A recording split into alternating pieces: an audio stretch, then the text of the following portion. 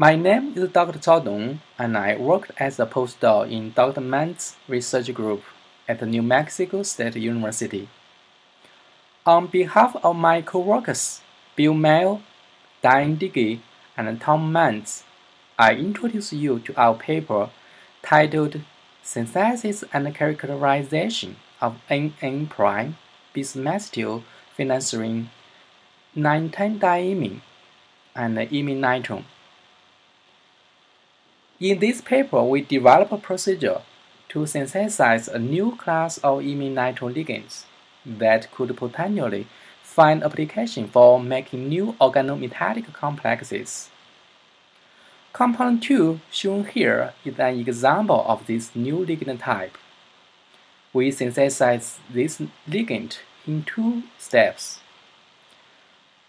The first step followed prior literature by reacting phenanthrene quinol with methylaniline and titanium tetrachloride to produce bimethylphenanthrene diimine, which is labeled as compound 1. The second step uses the urea hydrogen peroxide of methyl trioxorhenium to oxidize compound 1 to the bismethylphenanthrene imine-nitrone, which is labeled as compound 2. This reaction takes place under mild conditions with very good yields. This work involved two new aspects compared to prior literatures.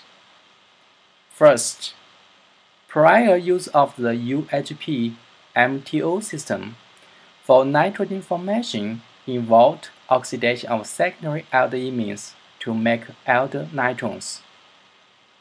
Here we report UHP MTO can be used to prepare ketonitrones from ketoimines. Second, an imine nitroxide radical containing an unsaturated connecting ring was previously reported by Lear. Here, we reported an imine nitrone containing an unsaturated connecting ring.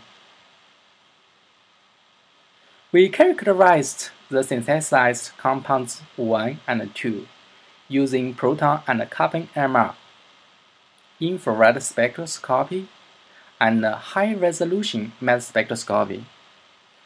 We reported the first crystal structure for compound 1 and also performed elemental analysis on compound 1. For each compound, we carefully compared a quantum mechanically computed infrared spectrum to the experimental spectrum. Each peak was assigned to a particular vibration by animating the calculated vibration modes.